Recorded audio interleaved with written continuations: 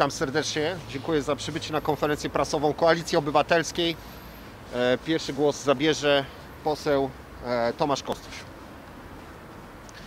Szanowni Państwo, w państwie demokratycznym opozycja pełni szczególną rolę, ważną rolę.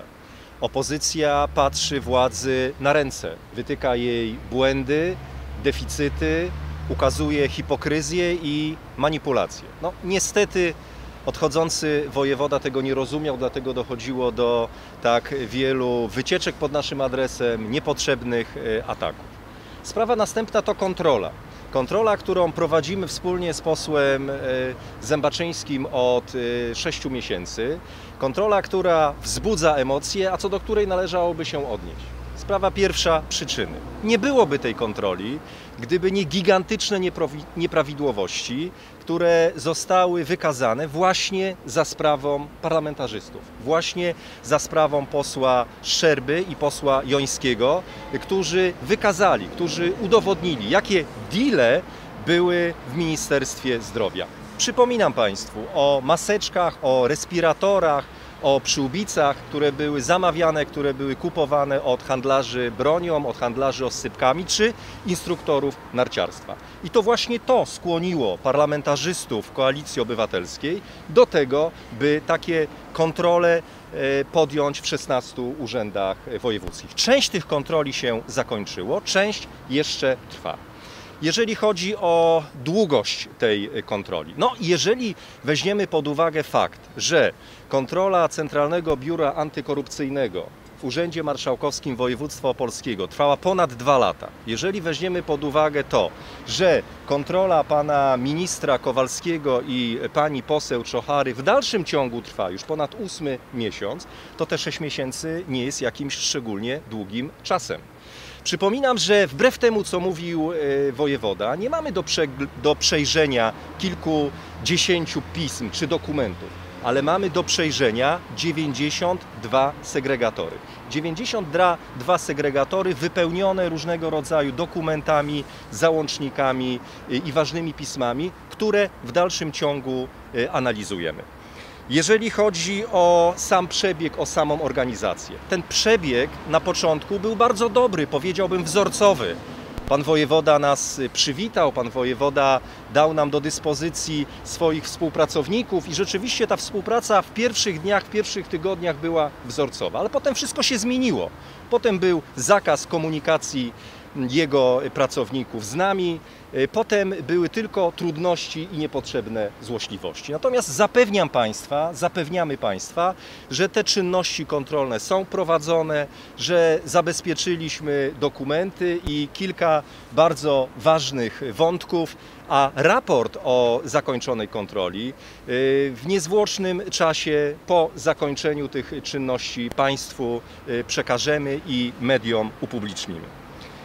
Sprawa następna. E, Nowo powołany e, wojewoda. Bez wątpienia na odwołanie pana Adriana Czubaka wpłynął fakt, że więcej robił szkód e, niż pożytku, że był gwiazdą jednej z ogólnopolskich stacji telewizyjnych przez wiele miesięcy. Nie chcę tego kontynuować, zwłaszcza teraz, kiedy pan Adrian Czubak jest już byłym wojewodą. Natomiast nie bez znaczenia jest fakt, że za kilka dni rząd ogłosi swój strategiczny y, program, y, Nowy Ład. Y, Program, który ma być nowym otwarciem PiSu, który ma być nowym otwarciem Zjednoczonej Prawicy. I pewnie na Nowogrodzkiej uznano, że twarzą tego projektu, że twarzą tego programu ktoś taki jak pan wojewoda Adrian Czubak być nie może. To bez wątpienia jeden z ważnych elementów, z ważnych okoliczności, które e, przyczyniły się w mojej opinii do jego odwołania.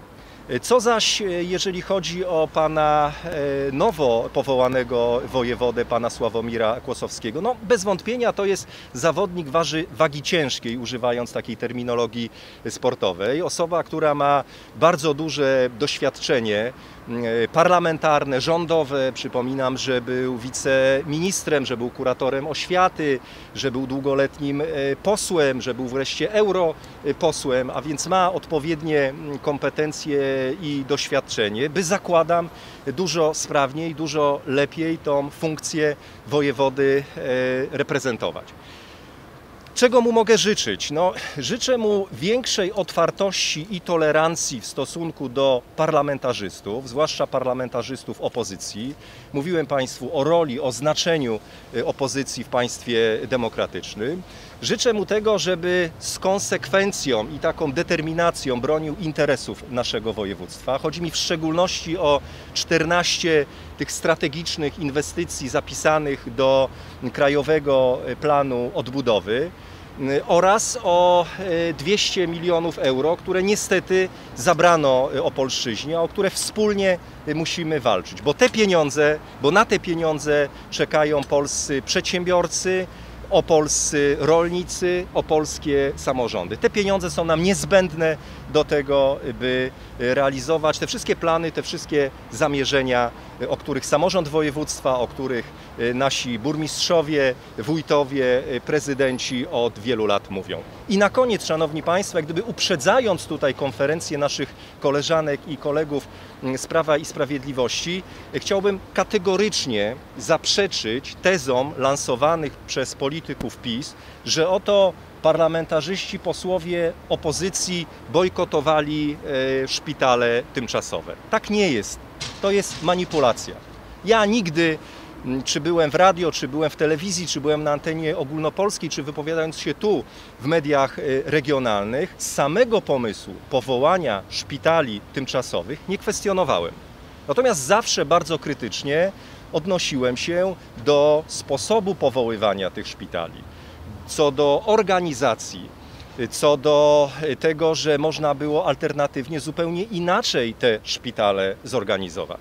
Mówię tutaj o pomyśle chociażby e, szpitali kontenerowych, mówię tutaj o rozbudowie naszych szpitali. Przecież prędzej czy później CWK będzie musiało wrócić do swojej funkcji wystawienniczo-kongresowej, a niestety nie wykorzystano tej wielkiej szansy, jaką była możliwość rozbudowania naszych opolskich szpitali.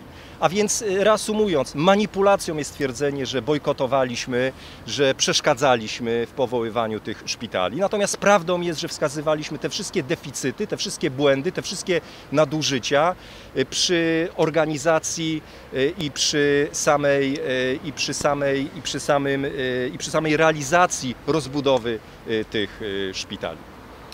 Dziękuję bardzo za uwagę i poprosimy pana posła Zębaczyńskiego. Drodzy Państwo, e, to jest ogromny sukces e, posła Tomasza Kostusia i mój osobisty odwołanie najgorszego wojewody w historii Opolszczyzny.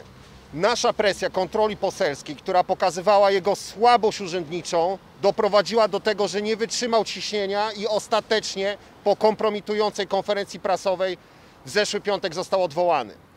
Ale uważam, że to nie koniec tych kompromitacji, ponieważ jak dowiadujemy się, dzisiaj o godzinie 13 w tym budynku ma się odbyć konferencja prasowa pana wojewody, byłego już wojewody Czubaka, stąd zadaję pytanie. Na jakiej podstawie chce on angażować zasoby i środki Urzędu Wojewódzkiego, jeżeli zgodnie z decyzją premiera od 7.30 wojewodą jest Sławomir Kłosowski? Czy nie jest to przypadkiem kolejny przykład takiego Bizancjum pisowskiego, gdzie oni nie patrzą, kto pełni jaką funkcję, ale z kim się zna i kto może samochód zaparkować na tym oto placu. Dlatego występuję do nowego wojewody, pana Sławomira Kłosowskiego, z tym oto pismem. Żądam od niego w ramach mojej kontroli odpowiedzenia na następujące pytania w postaci przeprowadzenia audytu otwarcia urzędowania nowego wojewody, podsumowania czasu urzędowania Adriana Czubaka. Chcę się dowiedzieć, jaki był stan zatrudnienia na wszelkiego rodzaju umowy od początku urzędowania Adriana Czubaka do czasu jego zakończenia w porównaniu do tego, co zastał, kiedy został wojewodą. Jaki jest odsetek e, e, kadry kierowniczej dyrektorskiej w stosunku do zwykłych pracowników, zwykłych urzędników? Bo na mieście mówi się, że w tym oto budynku za moimi plecami przypada jeden dyrektor na jednego urzędnika. Co dalej? Ile osób pełniło funkcje asystentów, doradców pana wojewody? Ile pieniędzy zostało na te cele wydane? Jak również żądam, aby w ramach tego audytu otwarcia nowy wojewoda Pan Sławomir Kłosowski podsumował poprzedniego wojewodę Czubaka w następującym zakresie. Przekazał do opinii publicznej treści wniosku o odznaczenie Tomasza Greniucha kompromitującej sprawy. Chcę poznać zaplecze tej decyzji i udział pana Czubaka w tym wszystkim. Chcę również dowiedzieć się w ramach mojego pisma poselskiego do nowego wojewody, czy w Opolskim Urzędzie Wojewódzkim od czasu objęcia tego urzędu przez Adriana Czubaka odnotowano jakiekolwiek nieprawidłowości w stylu mobbingu. Czy prawdą jest, że zdarzały się tu sytuacje rzucania w urzędników przedmiotami, krzyczenia na nich? Czy były prowadzone w tym zakresie jakiekolwiek postępowania i jaki one miały swój finał? Dodatkowo, na zakończenie mojego wniosku, chcę się dowiedzieć od nowego wojewody w ramach jego audytu otwarcia u- urzędowania o to, e, jakie nagrody otrzymał pan Adrian Czubak e, za okres swojego e, urzędowania, ile otrzymał odprawy oraz e, jakie były jego dodatkowe składniki wynagrodzenia. Nie pozwolę na to, drodzy Państwo, żeby ten urząd za naszymi plecami był po prostu takim pisowskim gniazdem do zasady dzieli rządź. To ma być urząd, który reprezentuje wszystkich Opolan. Także cieszę się dzisiaj bardzo i wszystkim Opolanom gratuluję. Najgorszy wojewoda już nie urzęduje. Jaki będzie nowy? Można się domyślać. Niech najpierw odpowie na mój wniosek kontroli poselskiej. Dziękuję bardzo. Jesteśmy przekonani, że e, kontrola, gdzie no niestety pan wojewoda, już mówiąc naprawdę komicznie, nie wytrzymał ciśnienia chlorowanej wody przypalonych naleśników i kuriera maseczek, po prostu zachowywał się tak irracjonalnie, że nie wytrzymał tego. Jego konferencje były żenujące, jego nerwowość, brak jakiego, jakiejkolwiek klasy, drodzy Państwo. To był naprawdę urząd, który miał tutaj wspaniałych wojewodów w swojej historii, niezależnie od opcji. Spowodował, że miarka się przebrała w ostatni piątek. Dosyć kompromitacji Opolszczyzny na e, arenie e, ogólnopolskiej i taki jest finał. Wojewoda, kiedy robił tą konferencję, nie wiedział wcale, że będzie odwołany. Nic na to nie wskazywało. To się stało po jego kabaretowym występie.